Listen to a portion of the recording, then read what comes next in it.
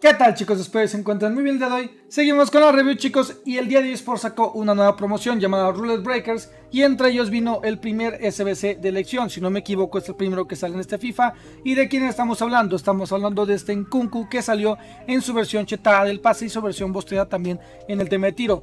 Estuve preguntando en Twitter y también estuve viendo varias opiniones de creadores de contenido, de pros, y creo que la mayoría está de acuerdo en que la mejor opción es esta versión que es la del pase. ¿Por qué? Porque se ve como más un perfil de un MC, no tanto como un MCO. Aparte que ya tenemos a Fekir, que también es francés, y creo que Fekir debe ser superior a este Nkunku. Entonces se opta más por usar a este Nkunku como un MCD o un MC, sobre todo más como un MC. Y aquí sí ocupamos bastante pase y más en este FIFA, porque en este FIFA es bastante importante los pases con potencia, los pases elevados, los pases filtrados elevados y también por debajo, los cambios de juego. Entonces creo que se necesita bastante pase en este FIFA y más en los jugadores del medio campo. Así que por eso pienso que esta es la mejor opción. Que nos encontramos con este Nkunku medio en ataque y medio en defensa, que la verdad no me gusta para nada, pero para nada esto porque normalmente he notado y me di cuenta que también la mayoría de gente que ha jugado este FIFA ha notado que los jugadores con medio medio no se notan tanto dentro del campo. De hecho, es de las preguntas que más se repitió en Twitter. Ya saben, si quieren salir en el video, Twitter el 7 bajo.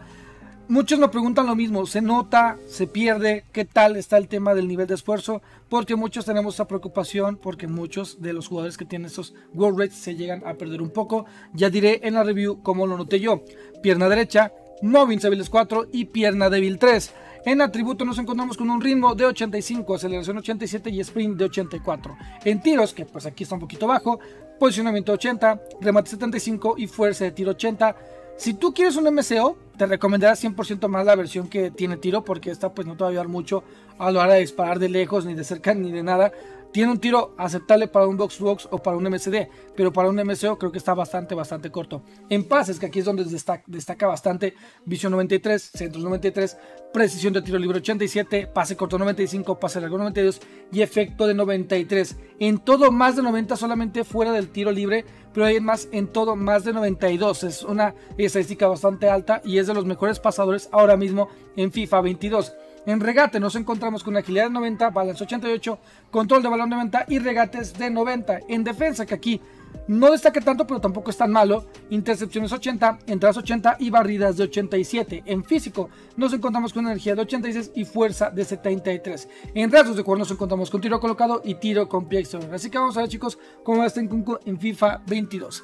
Vamos a empezar con las calificaciones chicos. Y aquí le vamos a poner 4.25 de calificaciones en Cucu porque en el ritmo lo noté bastante, bastante bien. Lo noté muchísimo más rápido, por ejemplo, a comparación de otra carta que tiene este mismo ritmo, que es Fekir. Sentí un poquito más rápido este en Kunku y tiene, con, tiene que ver con el tema de la del tipo de cuerpo que tiene, del regate que tiene. Es una carta que la verdad me gustó bastante en este aspecto.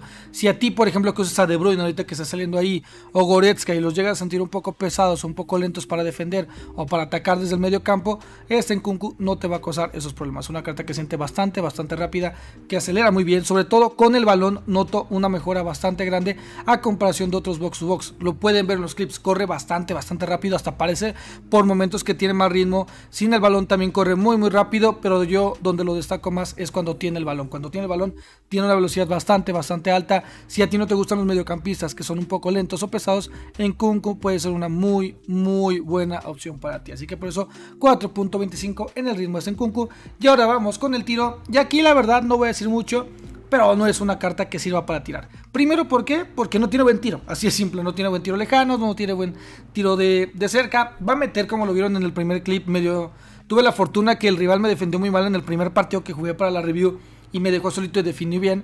Pero fuera de esas ocasiones que son muy claras, no dispara tan bien. Y segunda, y la más importante para mí es una carta que no se nota que sea muy ofensiva y no es una carta que se note que esté posicionada para disparar ni de lejos ni de cerca. Es una carta que de repente sí en ataque se pierde un poco y es por eso que también pienso que incluso la versión de tiro como MCO puede que no sea tan usable, porque si el jugador hace este tipo de movimientos, como MCO no lo vamos a tener y no nos va a aportar mucho en ataque, ni esta versión ni la versión de disparo. Así que por eso, chicos, 3.25 en el tiro, porque no se me hace que tenga buen tiro, pero sobre todo lo más importante, no se me hace una carta que esté muy, muy a la ofensiva ni que esté generando ocasiones muy constantemente. Así que por eso, 3.25 en el tiro este Kunku. Y vamos con lo que destaco de este jugador, y es el pase. Tiene un pase bastante, bastante bueno, pases filtrados pases cortos y sobre todo lo noto en esto, pases cortos. ¿Por qué? Porque no sé si se han fijado y no sé si también les pasa a ustedes que yo traigo el chip de repente de FIFA 21. Hay muchos pases que dabas en corto, aunque estuviera un mediocampista ahí cerca, normalmente no lo tapaban. Y en este FIFA pasa mucho que los jugadores pues dan los pases prácticamente casi al, al mediocampista rival o al defensa rival. Hasta parece que el pase no va para tu jugador, sino se lo estás dando directo al rival o que te lo interceptan bastante. Y con este jugador no me pasó eso, la verdad. Puedes dar pases cortos y con un jugador rival cerca y aún así el balón al menos va a ir a la dirección de, tu jugador, de, del jugador que estás buscando. Es una carta que sí pasa mejor y lo noté bastante en ese aspecto de los pases este, cortos, pero también en los lejanos y en los cambios de juego no se queda mal, la verdad. Vean esto, aquí el rival me está presionando. Todo el mundo que ha jugado este FIFA y desde el FIFA pasado saben que cuando los rivales te presionan, normalmente pasa que, tus jugadores se equivocan y les dan el balón. Y con este Nkunku la verdad que no pasó eso. Es una carta que sí pasa muy bien y que sí tiene muy muy buena visión, pases filtrados y en todo. Si te gusta salir desde atrás con pases a larga distancia, este Nkunku te puede ayudar bastante. Más porque he visto que los pros usan mucho esto, los pases por arriba filtrados desde el medio de campo al delantero, pues obviamente tienen Mbappé, tienen cartas así, pues este jugador les puede ayudar en este estilo de juego porque pasa muy muy bien de largas distancias, pero también de corta. La verdad que solamente le quito el punto 5 de calificación por el tema de su pierna mala. Cuando de repente está con su pierna mala, llega a fallar uno que otro pase, pero no es algo tan constante. Incluso con la pierna mala también tiene buen pase, pero igual ya un pase complicado puede llegar a tener problemas. Así que por eso 4.5 en el pase a este Nkunku. Y ahora vamos con el regate, chicos. Y como un MC o un MCD tiene un regate casi perfecto, de verdad, tiene un regate casi perfecto como MC y MCD, solamente le bajó el punto 5, ¿por qué? Porque no tiene 5 skills, pero nada más por eso, porque además es una carta que regatea muy, muy bien y yo sé que hay muchos que les gustan que los mediocampistas regateen, burlen y se giren rápido. Y la verdad que esta carta lo hace perfecto. Es una carta que se gira muy muy bien. También si es de repente una 360, una bicicleta, lo hace a buena velocidad. Pero obviamente ya como un MCO sí tenemos que bajar la calificación porque no se gira igual que otras cartas. No tiene tampoco esos giros tan ofensivos como si lo pueden llegar a tener mediocampistas ofensivos. Vean esta skill, la hace perfecta, la hace una velocidad muy muy buena. Pero eso sí, en los giros siento que como mediocampista no se llegaría a girar igual que otras cartas. Por ejemplo un Dembélé, un Perdón ahí la, la garganta. Este, es una carta que se gira bastante, bastante bien, sobre todo en el medio campo. La verdad que me gustó bastante en ese aspecto, como mediocampista, como MC, como MCD incluso, porque lo estuve ocupando en dos formaciones, en 4-2-3-1 y en 4-3-1-2. Lo ocupé más como box to box este, nato o también lo ocupé como MCD. Y la verdad que aquí me gustó bastante la salida que tiene esta carta. Así que por eso 4.5 como MC y MCD y 4 como regate en MCO a este en Kunku. Y vamos con la defensa y algo que a mí no me gustó tanto. La verdad que aquí sí les tengo que ser muy honesto. No es que defienda mal, pero no lo noto tanto. No lo, no lo noto tanto dentro del campo. No veo tantos cortes. Y si corta el balón, pues son más como ocasiones que tú defiendes. De hecho, si ven en los clips, la mayoría de recuperaciones que hago con este jugador es cuando yo lo estoy usando. Porque solo no se posiciona tan bien, solo no hace las mismas entradas, no tiene entradas tan defensivas, pero eso sí, tiene mejor defensa que muchos otros mediocampistas puede rendir sin ningún problema como box to box, créanme. Va a recuperar balones también, no le diciendo que no recupere nada. Vean el regate, por cierto, de verdad. Es brutal el regate de este jugador y es muy bueno. Pero lo que comentaba, sí hay que tener cuidado. Sí recomendaría tenerlo con algún jugador tipo Kanté, un tipo Kimmich, por ejemplo, si lo vas a ver en Bundesliga. Porque si lo juntas, por ejemplo, con Goretzka, Goretzka llega a subir en algunas ocasiones, te van a dejar mal parados los dos. Los dos de repente llegan a subir, entonces créanme que sí puede llegar a tener problemas. Si lo van a ocupar, que sea por favor al lado de un mediocampista que sí sea netamente defensivo para que este jugador de repente esté subiendo y de repente pues baje, pero que se dedique más a hacer las dos labores y el otro sí netamente a defender, porque si llegas a tener problemas y tampoco es que tenga las mejores animaciones defensivas ni las mejores intercepciones automáticas ni el mejor posicionamiento. Es una carta que sube y de repente baja. No sube tanto, es lo malo, si pasa, lo que muchos temían. A veces se pierde, ni lo notas ni arriba, ni lo notas ni abajo, a veces no sabes ni dónde está. es el problema que tiene esta carta. Pero aún así, pues sí, intercepta bien. Si defiendes manual, créeme que esta carta te va a servir bastante bien y más por el tema de la velocidad. Ya sabemos que en este FIFA a veces hay jugadores que no pueden tener defensa y aún así defienden bien. Así que por eso 3.75 en la defensa a este jugador. Y vamos a finalizar con el físico, chicos. Y en el físico no voy a decir mucho, solamente dos detalles. Siento que le falta presencia física y fuerza, pero también el otro detalle es que en la energía sí noto que se cansa un poco rápido y más si eres un jugador de esos que pues les gusta estar ocupando nada más al mediocampista que si ocupa un poquito más de la defensa automática y ocupas a los MC para que estén defendiendo, sí llego a sentir que se cansan un poco y llego a sentir que tiene problemitas en ese aspecto. Y también en la fuerza cuando te enfrentas a un jugador tipo de Bruin, por ejemplo en medio campo, un tipo Goretzka o si te enfrentas no sé a un Fofana, pues si llegas a perder batallas. No es como Kanté que les comentaba ayer, que Kanté a pesar de que se enfrentaba a jugadores muy muy fuertes o más altos que él, aún así recuperaba balones. Con este jugador sí puedes llegar a tener un poquito más de problemas. Así que el físico y la defensa sí tiene sus carencias, pero tampoco es algo tan grave. Por eso no le bajé dos puntos de calificación o algo por el, por el sentido. Es una carta que pues es más como para atacar y defender. Así que por eso 3.75 en el físico. Y vamos a llegar a las conclusiones finales. ¿Vale la pena o no vale la pena este Kunku en FIFA 22? Vamos a empezar chicos con Casual y Tryhard. Misma calificación la verdad. Se me hace una carta muy buena. de verdad me gustó mucho. Me gustó bastante y más por el tema de la salida y todo. Pero eso sí, si no tienes tantas monedas, porque pues sí cuesta 170 mil monedas, no está el acceso de todo el mundo, y ya lo he dicho en todas las reviews, ahorita las monedas escasean porque las recompensas de rebas no son tan buenas. Si tú no tienes tantas monedas, vete por un Goretzka. Un Goretzka te va a dar un rendimiento similar como Box to Box. Eh, obviamente no te va a regatear igual, pero al menos te va a defender un poquito mejor, va a tener más presencia física, va a tener más fuerza. Sacrificas una cosa por otra. Si no tienes las monedas, no creo que este en concurso un SBC obligatorio como si, por ejemplo, para mí en mi caso es Fekir. Fekir sí se me hace un SBC obligatorio 100% y más si tenés una Liga Santander y más por el hecho de que es francés. La verdad que ese Fekir se me hace muy, muy top, se me hace muy, muy bueno. Y si decía, sabes, que es que si tienes Liga Santander, no veo con quién lo pueda reemplazar. En cambio, este en Kunku, pues ahí lo puede reemplazar con Goretzka, tal vez se haga un poquito, pero por la movilidad. Pero tampoco se me hace algo tan grave ni tan drástico como para decir, no, es que en Kunku sí es infinitamente superior a Goretzka. Tampoco, la verdad que sí regata mejor, pero siento que Goretzka defiende más. Siento que se nota más en el campo. En Kunku lo que sí tienes que se llega a perder. Profundizaré más en la sección de preguntas. Pero si no tienes las monedas, pues puedes irte por Goretzka sin ningún problema. Pero eso sí, si ocupas tú un jugador que dé un link con Francia, que por ejemplo puedas tener como yo, a mí entró perfecto. Cuando lo estaba haciendo, no me entró en la cabeza, dije, ¿cómo lo voy a meter a mi plantilla? Tengo Bundesliga, pero no sé con quién me va a dar la química.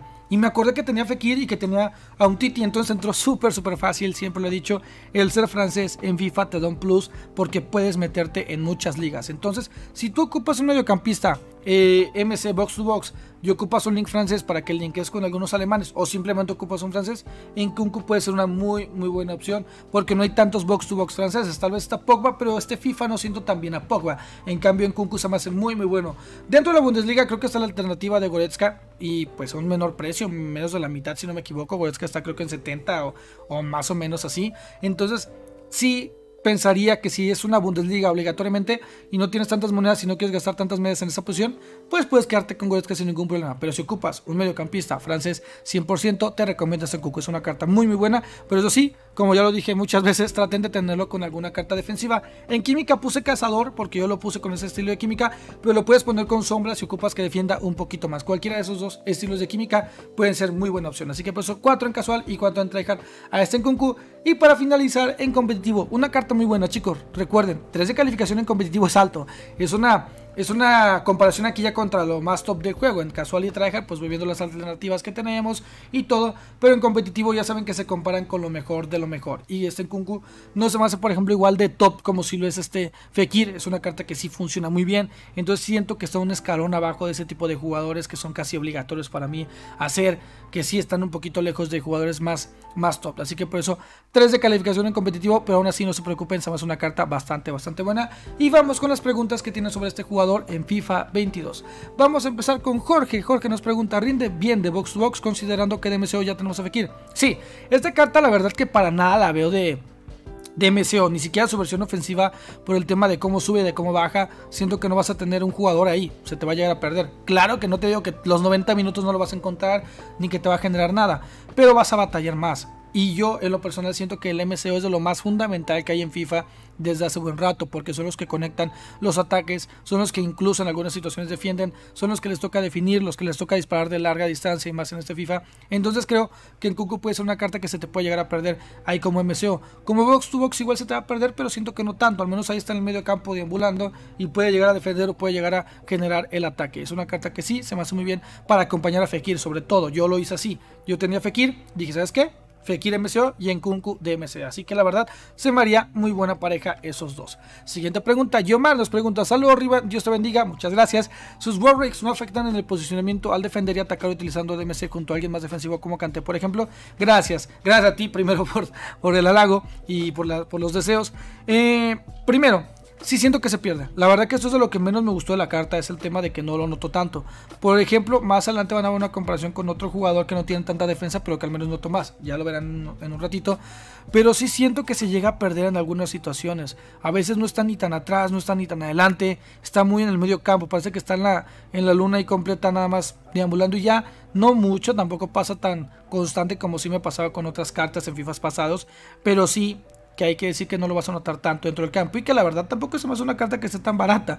No está tan barata, si no me equivoco los precios se me, equivocaron aquí, pero está más o menos en esto. Entonces tampoco está tan baratita como para que te des una carta que no esté tanto dentro del campo.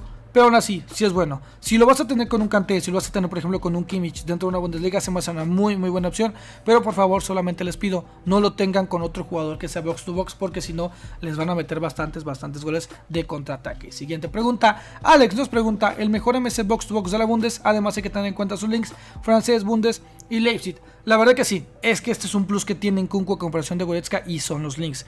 Los links de este jugador son bastante, bastante grandes, no solamente con Bundesliga, sino también el tema de ser francés. El ser francés te da un plus, o sea, la verdad cualquier jugador SBC que salga francés tiene un plus de que lo puedes meter fácilmente en cualquier liga y en cualquier plantilla. Entonces para mí, eso sí es una ventaja bastante grande que tiene a comparación de Goretzka, que es otro box to box dentro del juego. Pero el mejor no lo sé. Es que Goretzka me gusta más para defender y me gusta más para el físico que tiene, para más la presencia. Depende de qué busques. Tú quieres un MC que si ataque un poquito más, que te esté driblando, burlando y que tenga muy buen pase, vete por Nkunku.